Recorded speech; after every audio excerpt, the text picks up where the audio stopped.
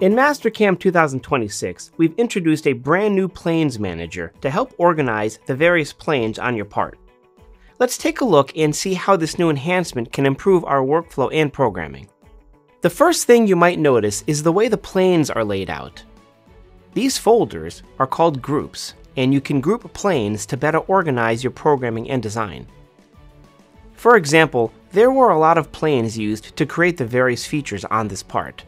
The planes titled Rib 1 through Rib 5 were all used to create various rib features.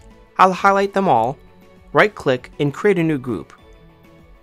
And I'll name this group Rib Features. Now, as you can see, all the rib planes are organized under the group that I just created.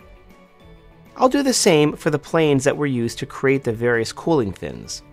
And in fact, I can do a keyword search for the word fin, and any plane that meets that criteria will now be shown.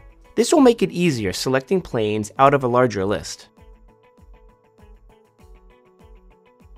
The properties of the planes are still available, conveniently located at the bottom. This display is customizable, so you can control what properties are available in this area.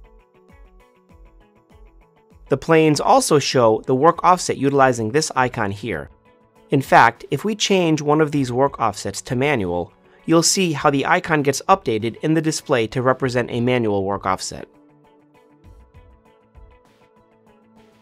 You'll also notice that we can easily switch between our graphics view, Active WCS, construction plane, and tool plane, all by selecting them from the display here. Our lock, display, and section view settings are also graphically represented here, making it easier to identify the various settings.